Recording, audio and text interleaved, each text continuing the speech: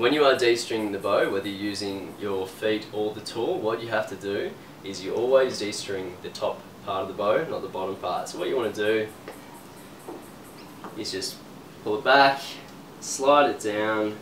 and making sure there's no pressure left on that, because what can happen is the top part of the string can get frayed.